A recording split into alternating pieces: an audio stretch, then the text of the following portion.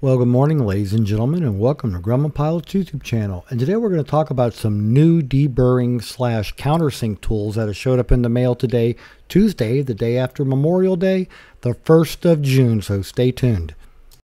So we would like to ask you please subscribe, hit the like button, and hit the notify to stay current with our content.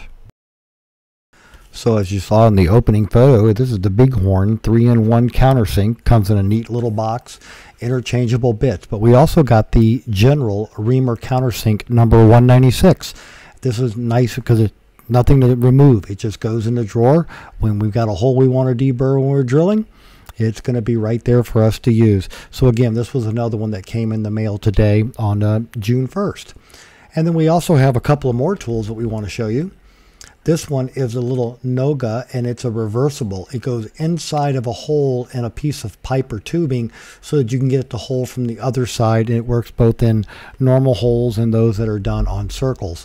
So again, it's a nice tool to be able to get those hard to reach spots deeper when you're doing riveting on an airplane. So it's the most expensive of all the tools and they did not have a handle for it when we ordered it. So we'll be making one for it. But again, these are the three Reamer countersinks that came in the mail today on June 1 and they will be going out to Yankee Aviation to go in our drawer of tools for working on airplanes. So, ladies and gentlemen, we hope you found all this information about these tools useful and informative. Thank, uh, thanks for watching and have a good day flying your Grumman. And in addition, there's a little treat about 3 o'clock in the morning when I'm doing web work and other stuff. Here's my cat coming down, playing with a mouse and meowing and just having a good time with me in the wee hours of the night. So I thought I'd throw this into you as a little treat. Y'all please enjoy.